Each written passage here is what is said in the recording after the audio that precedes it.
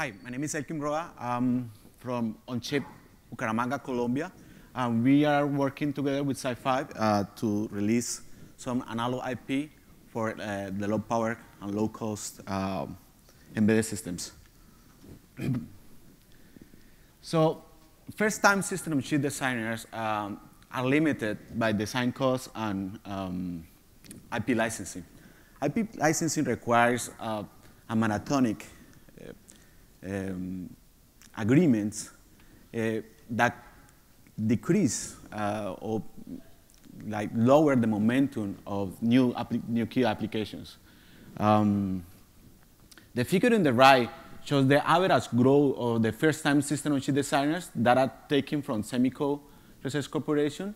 Um, you will see that the pace has been uh, kind of flattened, uh, considering the complexity um, and also the design cost.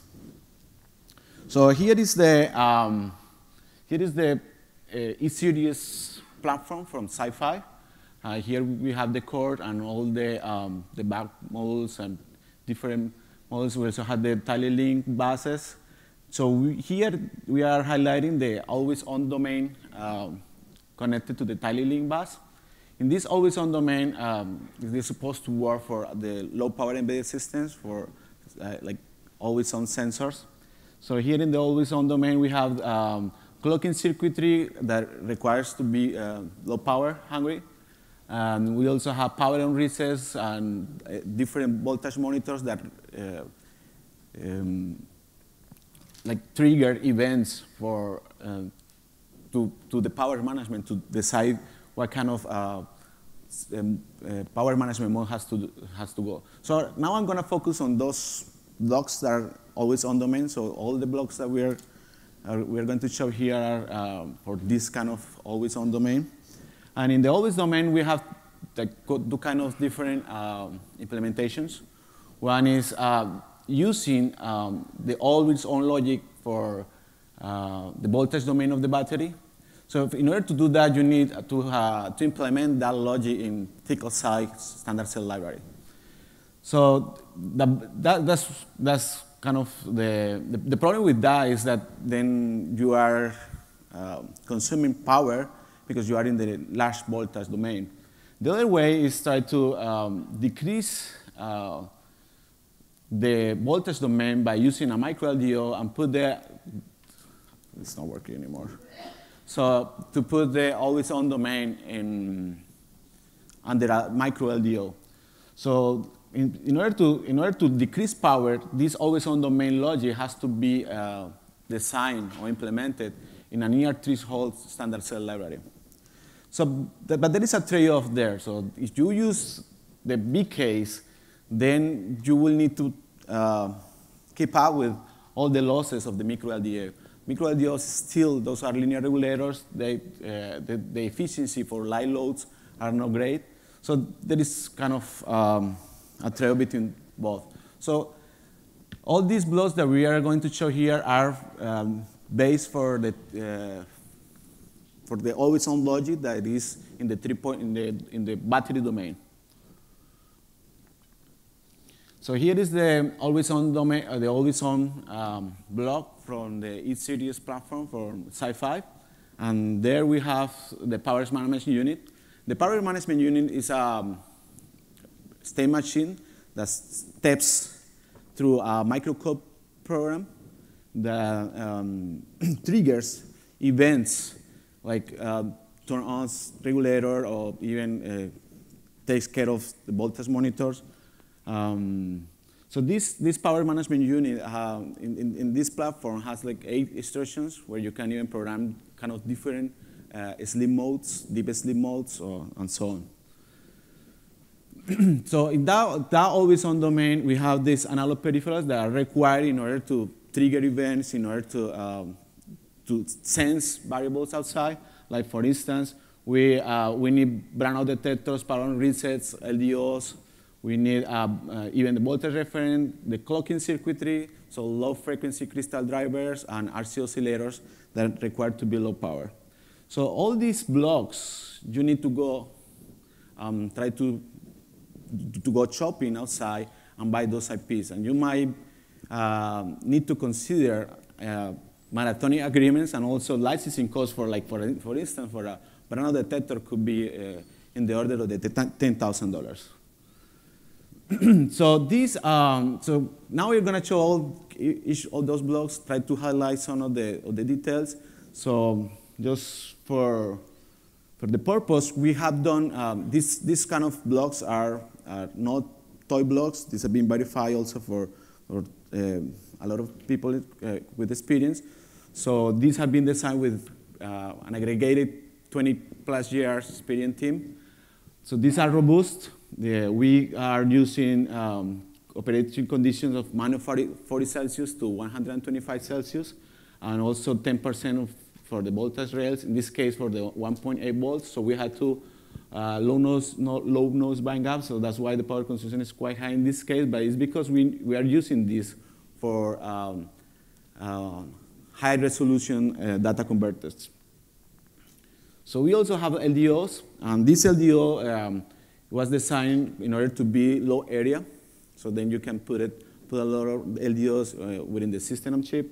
Um, this, uh, um, this LDO um, can go uh, is, is, is, able to to provide from 10 microamps all the way to 50 milliamps. It's programmable, so you can even decrease power, uh, current, uh, current steady power from the LDO. It's a traditional LDO, so there is nothing fancy here as an architecture but it is fully robust. We, we have a lot of uh, programmability in order to, to trim it to a, correct value. So also we have the biasing control. So this biasing control circuitry is used, is used for the power management unit where you can turn on off uh, a lot of the analog blocks.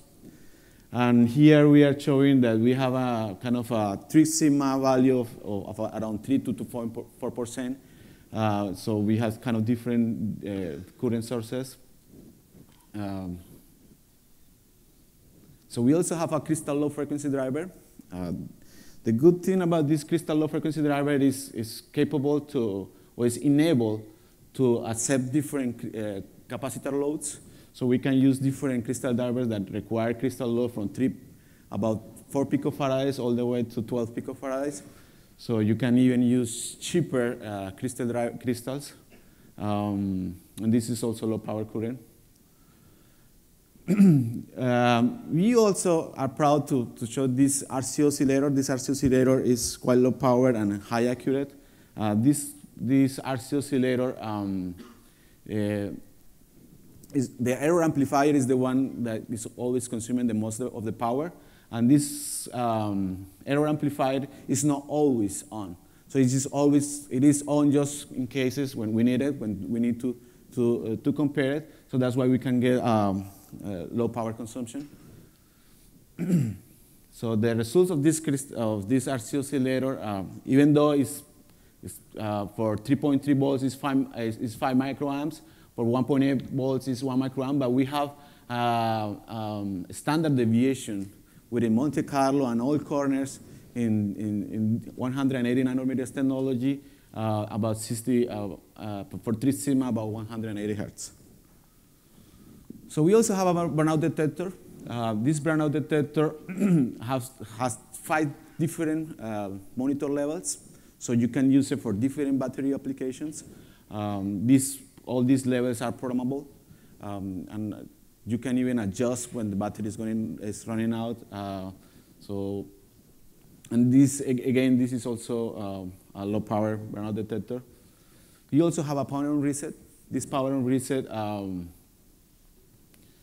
uh, the, the good thing also about the power on reset is also uh, multi-level. Uh, this, this power on reset has their own voltage reference, and this voltage reference is the in the order of nanoamps. Um, we uh, trigger events from the power reset based on counters and probability. We also releasing uh, data converters, high, high multi-resolution data converters with kind of uh, for you can use, use, uh, use, it for applications that don't require um, uh, a lot of resolution, so you can even programmable, program that uh, resolution from the DAC.